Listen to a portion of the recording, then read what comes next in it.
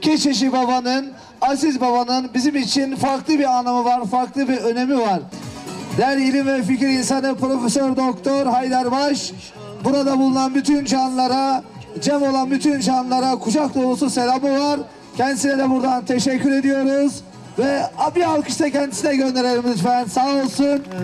Meltem TV'ye Ehli Beyt aşıkları Horasan pirlerinden Keçeci Baba'yı anmak üzere Tokat Erbaa'da bulunan Keçeci köyünde bir araya geldi.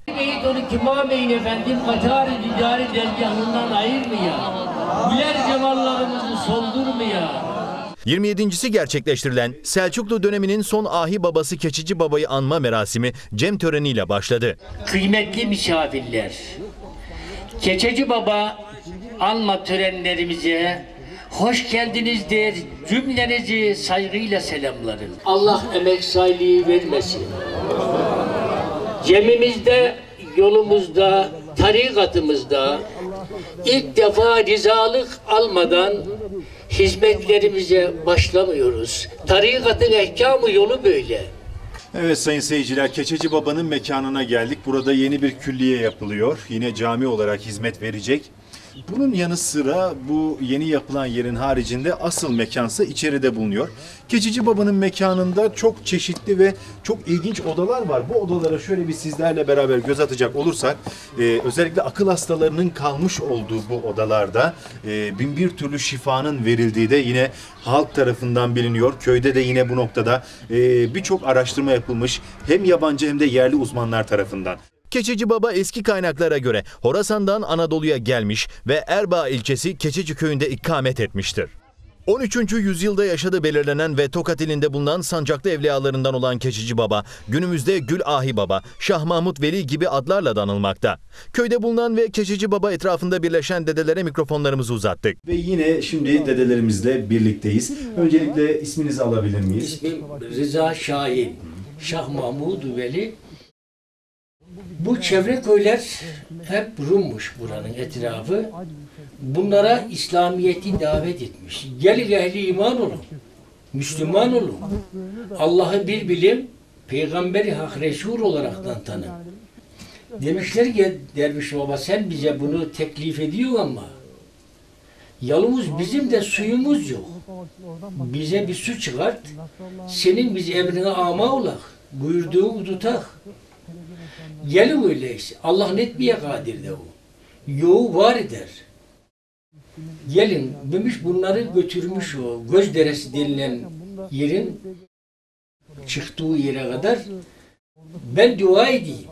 Siz Allah Allah deyin. Allah'tan biz bunu isteyek. Dua etmiş, nutk etmiş, oradan bir ırmak yürümüş bu arada. Köyün dedelerinden Rıza Güneş, Keçici Baba'nın Allah lafzını ağzından düşürmeyen bir tabip olduğuna işaret etti. En güzel isimler Allah'ındır. Dua ve zikir ibadet ederken o isimle anın evliliğe düşmeyin.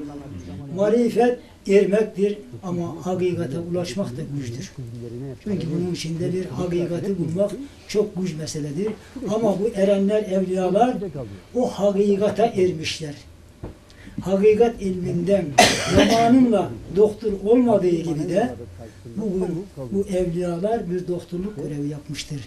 Yine köyün ileri gelen dedelerinden Fevzi Eraslan da Keçici Baba türbesindeki nişanenin öyküsünü izah etti. Ee, Fevzi Eraslan dedemiz de bize dilek taşını anlatacak. Eyvallah. Bu taşın öyküsünü bize anlatır mısınız? Taşın öyküsü Keşeli Baba bu Horasan Nişabur'dan bu taşı atınca bu taşın neredeki mekanım olsun bir nişane bu. Bu yani bu taşı dilek taşıdır. Evet. Burada da su vardır. Zemzem suyu. Suyundan içinde derdin dermanı gider çok şükürler olsun. Şurada da Ha, şifalı su var. şifalı İnsanlar su. burada Ha. bu taşın yakınındaki sudan bolca içerek hem Eyvallah. çocuklar hem de insanlar buluyorlar. Eyvallah.